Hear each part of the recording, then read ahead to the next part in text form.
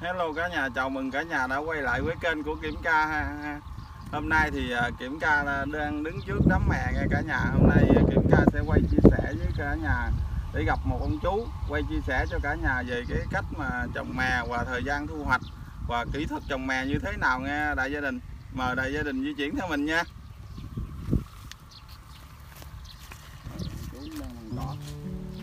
Con à, chào chú, dạ chú. đang bằng cỏ hả chú? Dạ, dạ.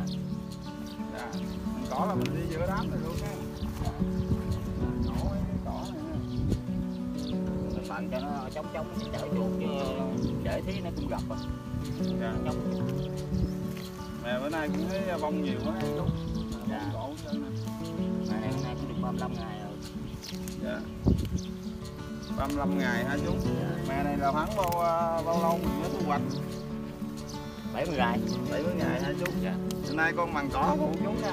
Đợi nó nói chỗ đám này, chỗ này bông đang Dạ, dạ.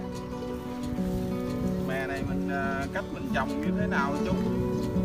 Nó là bằng này nhẹ giống hơn bắp chứ vì công thả có ký lô mà Ký rồi con thấy mẹ hột nhỏ nhỏ không rồi mình xả cách sao hồi đó giờ con chưa biết á. ta ta xả không rồi ta xả không mà tôi trộm cá cá cho làm nước hiểu hiểu hiểu gì đó Giờ cát à, ẩm ẩm rồi sau đó mình mới à, đổ một ký mè vô. đổ cái mè vô mình trộn ba công mình đổ ba ký mè trộn đều lại. Ba ký cát rồi cho nó nặng nặng dễ dãi chút. Rồi gãi đều ra cái nó lên. Gãi đều đều lên còn gãy không thấy hồng mẹ nhỏ xíu mà gãy cái làm sao? Để cũng được. Cầm nắm thì mình thành ra hai ngón tay thôi. Vậy đó. Dạ. Có khi cũng không có trộn cũng giải tay à, mấy bữa nó mới lên chú ba đêm mình khẩu lỗ ba đêm là lên hả ba đêm cũng lên khẩu lỗ cái à, mè này á thì mình bằng mua gọi chú bằng cái gì? Rồi đậu bọng và nó bọng có lý chú công đưa bán được. Một sáu triệu còn hai triệu là lợi nhiều ít thì đất ờ, mướn ờ, ra nói chung là đất ờ, mướn thì mà người đầu kể như mình củi nhờ hai sau công tới 2 triệu bị đất này nó cao thì nó bằng ba vụ. Đất này chú vụ me này rồi để vụ bắp nữa. Dạ. Cũng thế là hai triệu một công dạ mướn 2 triệu còn vụ me này mình trồng xong là mình à, để bắp lại. để bắp lại. Còn có nhiêu tháng 10 ngày nữa cắt rồi cắt rồi mình bằng bước đầu nửa tháng ba mình để bắp rồi tới nửa tháng mình thu hoạch rồi có lý mè có 70 ngày cũng mau hết dạ bảy mươi. Thì đất mới tới 2 triệu công thì mình ba vụ chứ hai vụ không dám mần luôn. Rồi cái bằng này ra chú còn mặn gì nữa không? Không còn là không gửi đất rồi mình lúa ở dưới cường mướn trên vòng là bằng mè chín công là mười công mướn không. Rồi chú mặn đây tổng cộng cái khu này đây là 10 công mè hả? Dạ sáu công sáu công bên đó bốn công. Mướn dưới kia bốn công nữa mà bên đánh xa xa bên đó nha dạ dưới Dạ. mã dưới. Cũng cỡ mẹ này nè. Dạ. Được. Mẹ thì nó hay nó nhẹ ờ, chi phí hơn bắp chứ đó. Bắp xuống giống được cái sáu bảy trăm ngàn công rồi. Còn mè mình cái năm bảy chục ngàn rồi đâu là một công cái hạt giống mình mua một ký có năm năm bảy chục ngàn hả chú? Ờ, có bốn mươi lăm năm chục ngàn. Mình bán cũng vậy Đi chia qua chia lợi mình đó cũng dễ vô vốn còn ra dựa mua tới bảy chục. Dạ. Còn như mình mua ở đây rồi theo mận nhau có chia qua chia lợi để bán cho để vậy. Dạ anh em à, mặn rồi lấy giống rồi để lại bán lại cho mình Dạ. á cũng như anh em ờ, mận chung nhau rồi. Qua đưa lợi đâu có đâu bán cao như dựa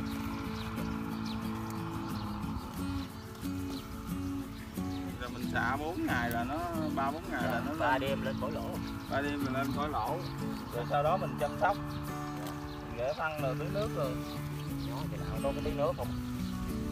Mấy bữa tưới nước lần chú tùy lễ. Tùy thôi đấy. Nó nó nó cũng nhát nước lắm mà tứ nôn nhô của nó chết bụi như đám mè bên kia kìa. Nó tứ kiểu tứ thả như mình chạy thằng nông đó dư nước nó chết Dạ. chết lại gai lên thôi. Còn này mình để nó khô cái này vậy là đợi cho khá đất nó khô mình Dạ. mới tưới ha.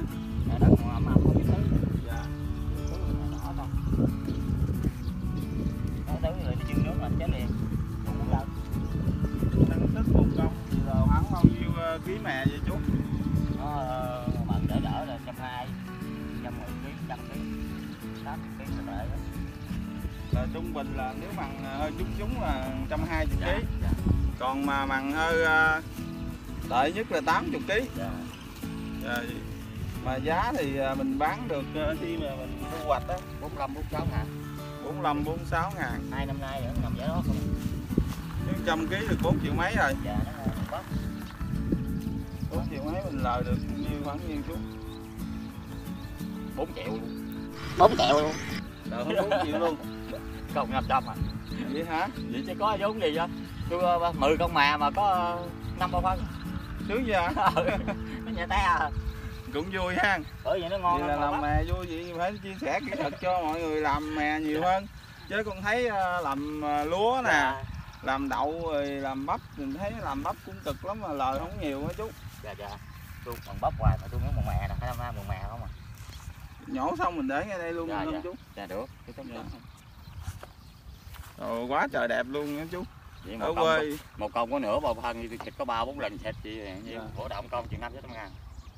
Mà, mà, mà cũng ít mằn cỏ nữa cũng khỏe rồi ha. Tự nó gặp lên ờ, đâu có gì cái này mày mấy chỗ nhiều nhiều mình nè cho chống chống đỡ chuột. Chứ bỏ thiết là được. mấy cái chỗ mà nó tốt như gì nè nghe cả nhà chú chia sẻ là nó gặp hết cỏ nó là ở dưới nó không phát triển được. Dạ. nè cả nhà thấy ông bông hết rồi nó dày lại luôn. Mè nó phủ lại luôn. Ở đây bông mè này cả nhà thấy chưa mình chắc mình ăn bánh làm từ hạt mè nhiều, nhưng mà lần đầu mình cũng là lần đầu tiên mình thấy được cái bông mè luôn á nghe cả nhà, dưới cây mè luôn. Đó, hôm nay thì về quê, thấy ờ, cái cảnh đẹp nông thôn của mình á, có cái gì đó nó đẹp thì mình sẽ quay chia sẻ. Mè này cũng đẹp quá quá bông luôn, bông rộ luôn.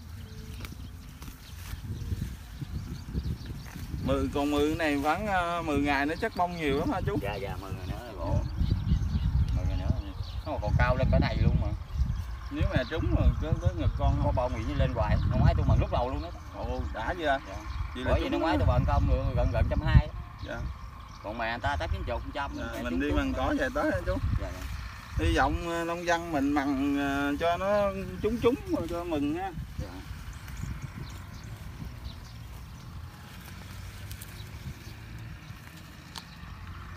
Thì chú chia sẻ thêm cho ờ, con cũng như ờ, anh chị em ờ, bà con nông dân mình biết và mọi người biết là cái thời gian mình trồng như vậy đó rồi mình như ba ngày khỏi lỗ đó rồi mình chăm sóc như thế nào cho nó kỹ hơn chút rồi con không có nắm được. mình cũng không có cần xịt thuốc sâu gì nó lên rồi có khoảng chừng 20 ngàn ăn lên mình mới xịt bị nó đâu có ảnh hưởng gì đâu. Là chỉ tới 20 ngàn ăn lên gần có bông mình mới xịt chừng năm mấy ngày mình xịt lần mà xịt thuốc gì là chính chú thuốc sâu đó.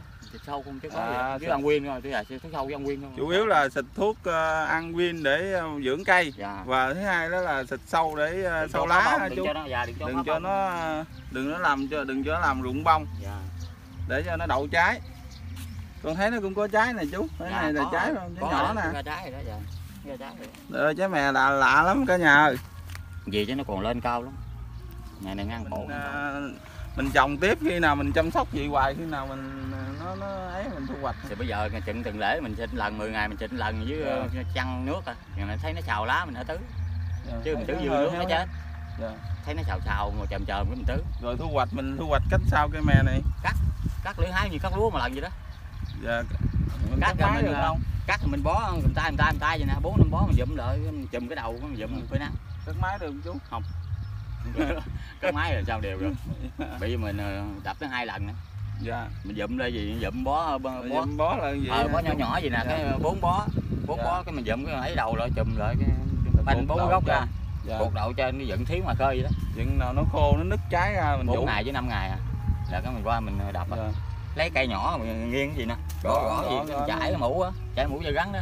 Rớt hồn ra rớt. Phải ước gì thấy được cảnh đó. Rớt ờ, sau này mình bó lại tám chín bó lại chùm là mình để chú vậy mai mốt con à, quay cảnh này xong mai mốt có khi nào mà chú Dạ. thu hoạch á, con xin lại số điện thoại của chú ha. Dạ. con về con quay chia sẻ cho anh em cũng như mọi người biết nha chú. Cỡ tháng Dạ. ngoài nữa mới đập. Dạ. Cỡ tháng ngoài nữa cái mình đập rồi. Tháng ngoài nữa chú đập mè ha. Vậy Dạ. con chú con xin lại số điện thoại của chú. Dạ dạ